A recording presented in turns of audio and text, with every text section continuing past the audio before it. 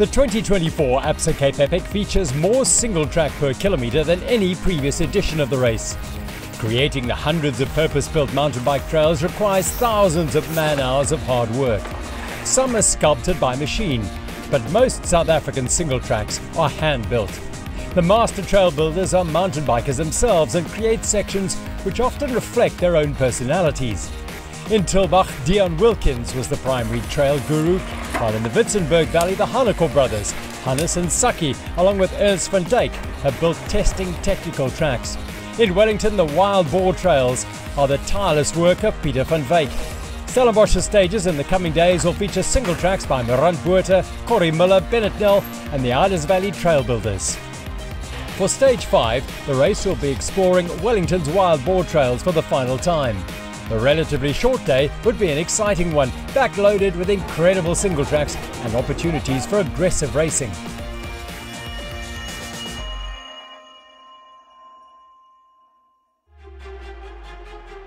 The day before, the shortened Queen stage had seen exceptionally aggressive racing, even by the 2024 Absa Cape Epic's belligerent standards. Buff Megamo had started stage 4 in yellow and attempted to defend from the front. Yet Canyon SIDI found the race leader's pace too slow and went on the offensive. This allowed Toyota Specialized 91 and World Bicycle Relief to follow, while Hans Becking and Wout Alleman slipped back, suffered a puncture, and continued to cede time. Lucas Baum and Georg Egger were also enduring another difficult day. Up front, Nino Schurter led Sebastian Fini, Matt Beers, Howard Grotts, Andreas Seewald, and Marcus Stutzmann up and over the cliffhanger.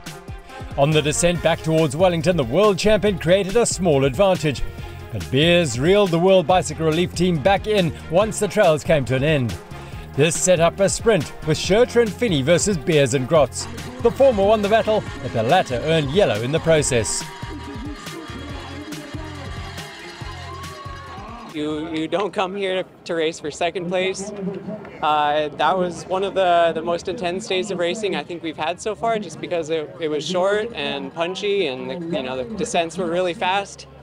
Uh, but it was it was a fun day of racing, even though there was some suffering. After stage 4, Toyota Specialized 91 led World Bicycle Relief by two minutes. Buff Megamo slipped from first to third, while Canyon SIDI's strong back-to-back days moved them up from sixth to fifth as Wilier Vittoria dropped a placing. In the Aramex women's race, the story of the early part of the stage was the efficient Infinity Insure SCB SRAM team's travails. Vera Looser and Alexis Skarda found themselves behind E4 Private Client Holdings and the Scott Calabandida Bulls.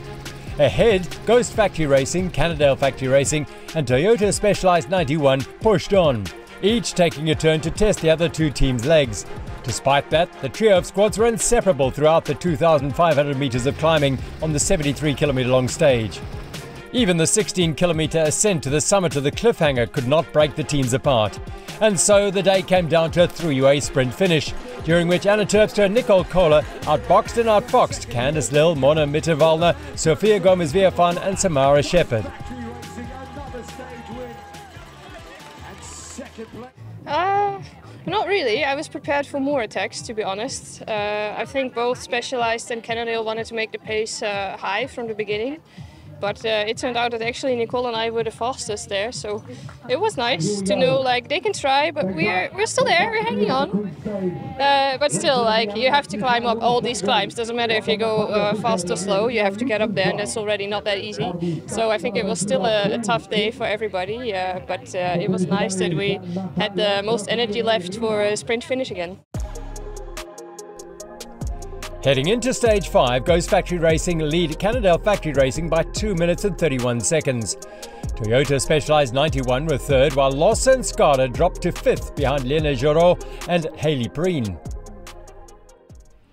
Stage 5 was the shortest of the race at just 70 kilometers in length with 1,750 meters of climbing. It was, however, still packed with exciting riding, particularly in the back end of the course. Once the teams passed through Welbedacht and Linton Park, the trails began in earnest with Leyslong, Happy Hog, True Grit, and the Toyota Tough Golden Mile. Despite the shorter distance, the UCI men were not expecting an easy stage, especially with so much left to race for. We're on uh, stage five, so uh, yeah, by this time uh, your legs don't really really get worse, or you just get used to the pain. Um, and uh, yeah, I think um, we're in for some some good and fast riding. It's a short stage. Um, I think some guys will take it as a you know easy recovery day, and then you'll have some guys that will you know want to punch it for a stage win. Um, but uh, I think yeah, it'll be tricky to get away with the GC fight still still on. Um, but uh, yeah, it seems also it's been been cooling down a little bit, so it'll be like a day out. It's 70k and uh, a bit of climbing. I'm not gonna tell where we attack. I don't know actually. so it's hard to say. But uh, lots of single track in the end, so that's nice for us. Yeah, I think it'll be yeah fast at the start, and then there's a couple single tracks that positioning is important. But the nice thing about single track is you get to sort of take a breather. Uh, it's still hard pedaling, but you don't have to fight. When the gun fired and the flag dropped, Buff Megamo raced off the line, followed by a massive teams all looking for an opportunity to claim a good result. With this being the third last stage, the chances for a stage win, a podium place, or a top 10 finish were ticking away. Only the bravest would be rewarded on stage 5. The same was true in the women's race, though there was a lot to reflect upon after a dramatic Queen stage and with an intense stage 5 about to begin. Yeah, I think there's two two places um, that the race can be made today. Um, and yeah, I mean, it's all good and well having a plan, but I think um, the most important thing is being able to adapt the plan if the plan doesn't go according to plan. So um, yeah, we've spoken about a few scenarios, and yeah, I just I really um, hope that today we can put some pressure on. Yeah, we're gonna uh, see how we feel at the start and uh, pace it well and kind of race our own race. We have like we know how much time we need to make up, so if we're feeling good, we'll go for it. If not, we'll kind of reserve for tomorrow.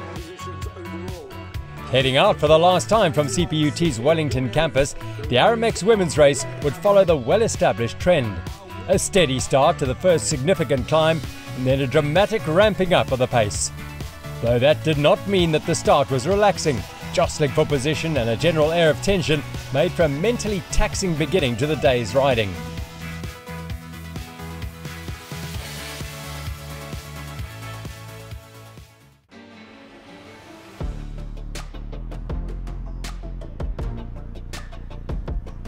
Powering off the asphalt and onto the gravel roads outside of Wellington, the Canyon SIDI support team member Peter Vakoch led the field, with Tiger Eurosteel's Philip Bass and Peter du Toit right behind.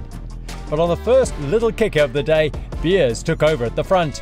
The big South African is a firm believer in defending from the front, and when he sets a tempo, it often prevents attacks entirely, especially over rolling terrain. The hills and dales of the Wellington winelands are ideal for the Toyota Specialized 91 rider to work his magic, but the landscape was not hard enough to reduce the group to under 10 teams. The aptly named Roller Coaster was the first single track of the day and provided a thrilling ride through the Renosterveld Fynbos. At the front, Beer still led, while in the middle of the group, Tiger Eurosteel's Du Toit was followed by his team leader, Bass. Dust and early morning light made the descending on dual tracks between the vineyards difficult and dangerous. Yet, with each rider trusting the wheel ahead, there was no need to stress.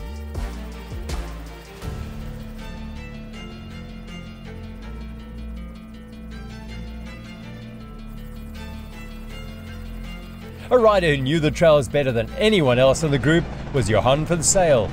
The young Toyota Specialized rider's partner, Alex Miller, withdrew after the start, and he was thus riding solo. Because of this, he couldn't get involved in the racing, but had to sit at the back of the lead group through the trails.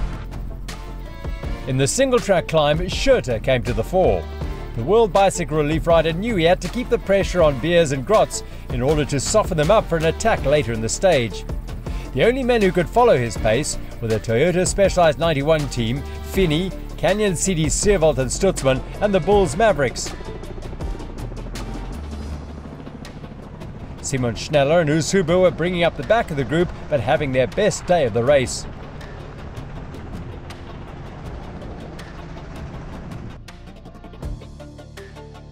When the pace increased under pressure from Beers, Huber and Schneller were distanced slightly, as was Seewald, who was caught behind the Bulls Mavericks pair. But there was no cause for concern. They'd be able to close the small gap when the trails turned downhill. The same could not be said for Buff Megamo, who are 140 back with Singer Racing and Sale. In the Aramex women's race, the undulating early kilometres provided no challenges significant enough to thin the UCI women's field. Thus, the full 18 team group rode together for the best part of 10 kilometres. Behind the big general classification battles, there were fights unfolding for 9th, 10th, and 11th, as well as for 13th, 14th, and 15th. Teams like Pertec, Efficient Infinity Insure and She Untamed had exchanged positions throughout the week, as had the Cape Classic 380, Cruise Control and Elements teams. These battles within the greater race are one of the untold features of every edition of the Absa Cape Epic, unseen by the viewers but of vital importance to the riders involved, especially for Danielle Strydom and Steph Walters, who are wearing the Absa African jerseys. When the pace increased as the climbs became slightly more arduous, a more elite selection was enforced by Lill. She and Mitterwallner were joined in that group by their usual rivals Terpstra and Koller, as well as Gomez Villafañe and Sheppard. Lawson and Skarda were also present in the group, along with both E4 teams, E4 Private Client Holdings and E4 Mente Corpo. Jeroen Preen have been strong all week, while Margot Moschetti and Constanza Fasolis have grown into the event, getting stronger day by day. The same is true at a slightly higher level for Scott Calabandida Bulls, Natalia Fischer and Irina Lutzelschwab, while the efficient Infinity Insure SCB SRAM combination have been losing ground since stage 3. On stage 5, Skarda and Looser again lost contact with the favourites group too early in the piece. A gravel road clearly had Gomez Villafañe feeling at home because the Argentine used a kick in the district road to reduce the lead group to just her Toyota Specialized 91 and the two factory racing teams.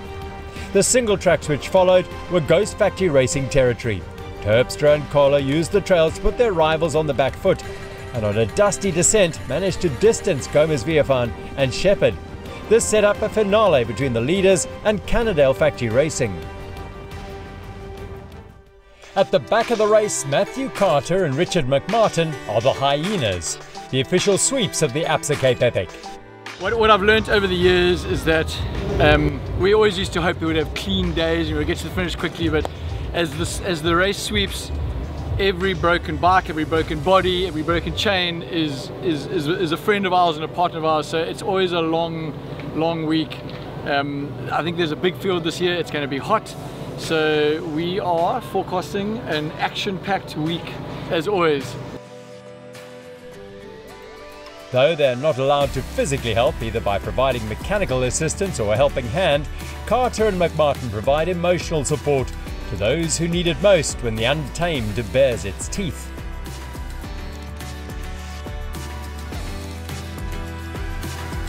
It's been a hell of a day.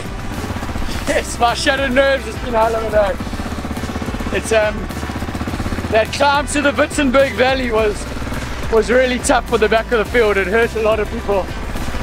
And then up in the Witzenberg, it's so rocky and, and technical that there's a lot of tired riders at the back of this race. This is our last rider in the field. He's from Portugal.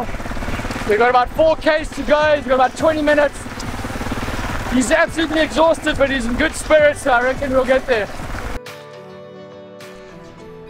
On stage two, the Hyenas nursed Luis Dominguez to the finish line at Saronsberg after a tough day out. Was very hard today. It's the last water point. I want to finish And then the, the, the marshal said, you must go and finish this stage. And I go, yes. Richard assist me. And the last cast kilometer push me, push me. And I finished. It's a very emotional job. Um, you know, you spend hours with these riders and you, you develop a relationship with them, you're chatting with them, and you're really you know, spurring them on, wanting them to finish. But the amazing part of the job is that there are a lot of heartwarming, happy stories. There are riders that, against all odds, they make it to the finish line. And I think that's why we do it. It's, it's eight beautiful days of riding. We get to ride every meter of this beautiful race, and we see the best of the human spirit come out at the back, and, um, and that's why we do it. Back with the UCI men in the lead group of Toyota Specialized 91, World Bicycle Relief, Canyon SIDI and Bulls Mavericks were into the wild boar trails and the back half of the course. True grit suited Schurter's skills to perfection, but Huber's imperfect preparation for the race was starting to tell. He's been a late replacement for Axel Rudil Kortener and has not been training for an eight-day stage race. He was not giving in without a fight, however, and continued to battle to cling onto his teammate's wheel. The climbs out of Doolhof back towards Wellington made this task even harder.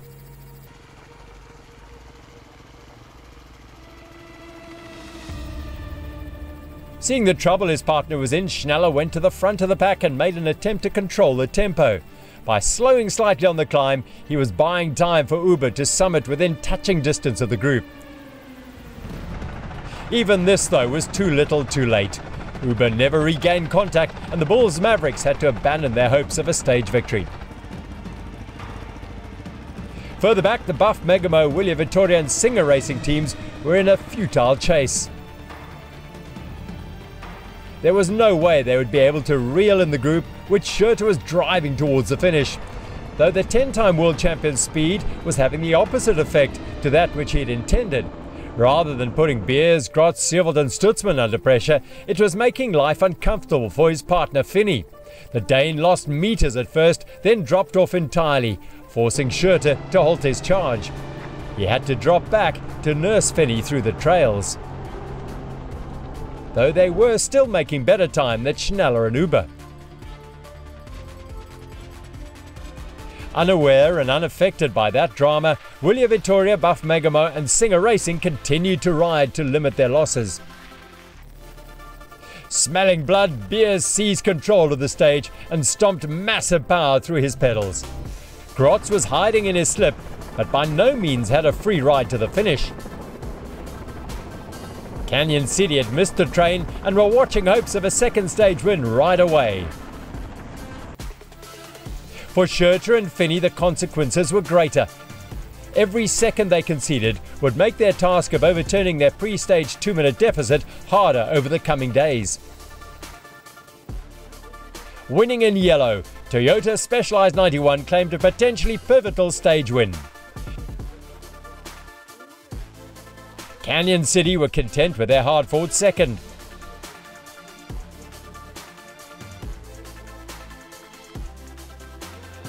While World Bicycle Relief were less enamoured by ceding time to Beers and Grotts. Amazing, it's awesome. We really, obviously, it's awesome being in yellow and everything, but uh, we've really wanted a stage win. You know, we've come second, third, third, fourth, and uh, so it's nice to get a stage win, and in yellow it's even better. So um, yeah, we weren't sure, but the pace was really high. Um, I set it really high in the beginning, maybe a bit too high. I thought um, Nino and them would want to roll with us, but um, yeah, I think it was a little maybe went a little bit too hard. So yeah, our plane was uh, from uh, mid stage. There was like coming a lot of single trails up, and uh, our plan was to put a bit of pressure on there and I realized a bit late that uh, Fini was a bit in, in struggle, so uh, we had then to change our strategy and uh, try to get to the finish.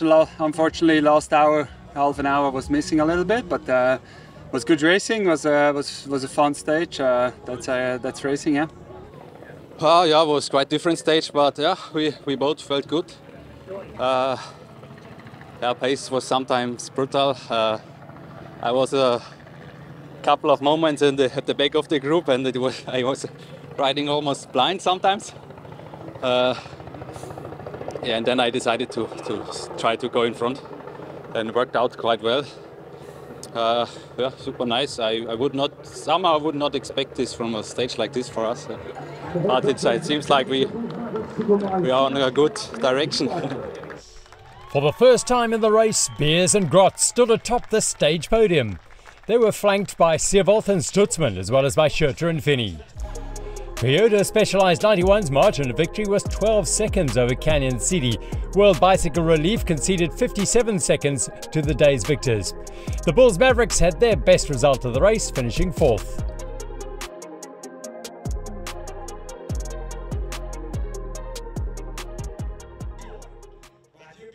Beers and Grotts will be wearing yellow heading into the penultimate stage. The Toyota Specialized 91 team's buffer after stage 5 is 2 minutes and 57 seconds over World Bicycle Relief. Buff Megamo maintained their podium place, but their gap to Canyon SIDI is down to 3 minutes and 5 seconds. The Absa African jersey wearers moved up to 10th overall, following Scott Calabandida Majorsi's plunge from 9th to 18th. In the Aramex women's race, the top two teams are locked in their seemingly eternal battle. So little has separated the Ghost Factory Racing and Cannondale Factory Racing squads during the 2024 ABSA Cape Epic's first six days. On two occasions, Terpstra and Koller had earned a single minute's advantage on a stage, but generally the gap has been one of narrow seconds. Lill and Mitterwallner shadowing the women in orange, or the race leaders matching the moves of the world and South African marathon champion. There had been moments of weakness for Mitterwallner in particular, but as stage 5 wore on, Lill appeared to be taking strain. Sensing the South African struggles, Koller upped the pace, turning a bad moment into an extremely tough few minutes and then more. In a show of great patience and then precise application of their superior form, Ghost Factory Racing cranked up the pressure. Though the elastic snapped, Lill did not crack. Having summited the final climb, Koller kicked off the time trial to the finish line. She and Terpstra swapped turns on the front, keeping the pace as high as they possibly could, eking out additional seconds in the battle for overall victory.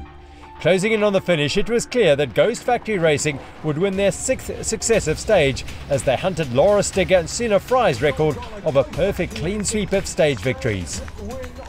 Finish line high fives and broad grins capped another masterful performance for the women in orange.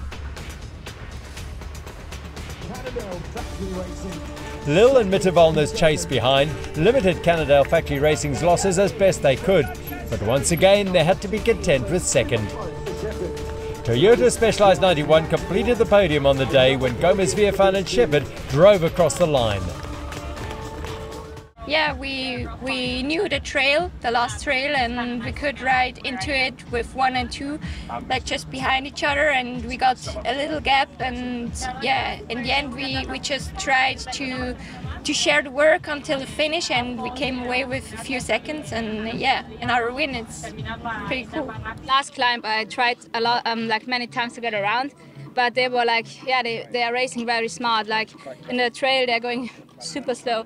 And then as soon as it's open, they push on. And then I try to overtake, but it's always too short. And obviously, they together they can block me. Um, but yeah, for sure, I smelled like a little bit of weakness today, 100%. Like um, so, two more days to go. So I think we we we can get it right. Like today, I felt a lot lot better, and I could have gone a lot faster in the end.